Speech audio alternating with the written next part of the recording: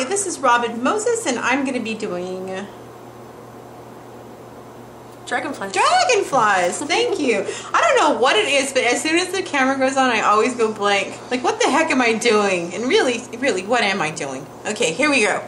So, with a brush, I've mixed up gold and white, and I'm going to just go ding, ding, like that, okay? And then, with my other side, ding, ding, and meet at the center, okay? Now with my other one, I'm going to do another one. With my brush, push, pull, push, pull. Kind of like a heart, but it, you don't you don't put the two together. That. Make sure your brush is kind of loaded up. You don't want, and then like that.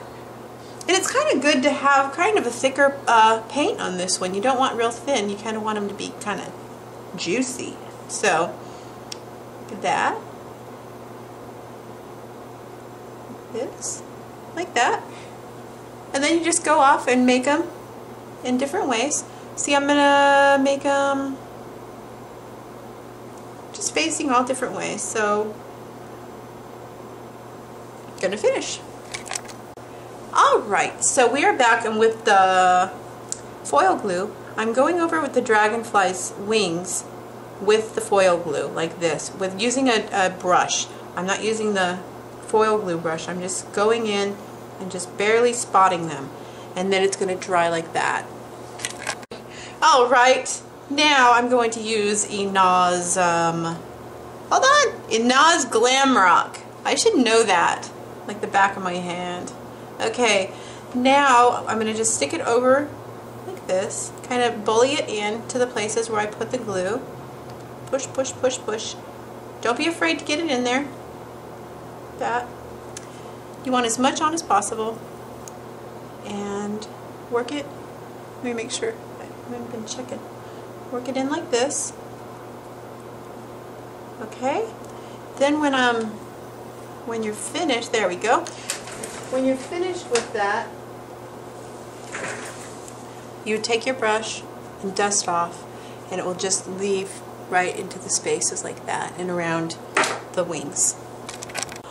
Alright, now with the black, I'm just going to go in, make his little head, push, push, push, push, make his little body. The ones that are halved, you can decide whether or not you want to make the bodies on them. Um, I'm going to make a little body on that one. And as as we get, let me let me back out a little. Okay. And then, as I finish, it'll look like this. Little little dragonflies. And then I'll top coat. Okay, I'm just going to just add a little tiny bit of gold glitter to his body, just at the bottom parts, just so that it looks like um, he's all one unit. Because when I top coat, he's just going to have black lines down the middle, and it's just going to look like lines, and this will just give him more of a body look. So I thought I'd throw that in there. Let me give you a finished product. And here are dragonflies. Oops. Now, it's that time of the night where you really can't see the color too well, so I'm going to take a picture of them and put them on my blog and on my Facebook so you guys can see the picture more clearly. And I hope you guys had fun and learned a lot and try them. And I will see you later. Bye!